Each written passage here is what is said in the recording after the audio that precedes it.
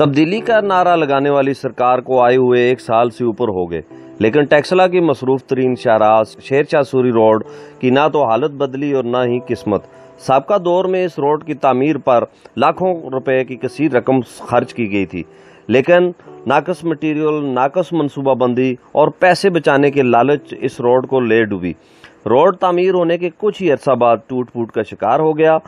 بڑے بڑے گھڑے بڑھ گئے، پانی کھڑا ہونا معمول بن گیا۔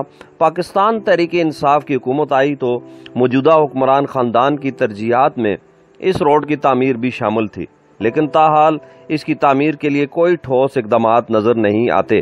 کاروباری اور تمام طبقہ اس روڈ کی وجہ سے سخت پریشان ہے علاقہ مکینوں کا کہنا تھا کہ روڈ کی تعمیر جلد از جلد کی جائے تاکہ ہم لوگ سکھ کا سانس لے سکیں۔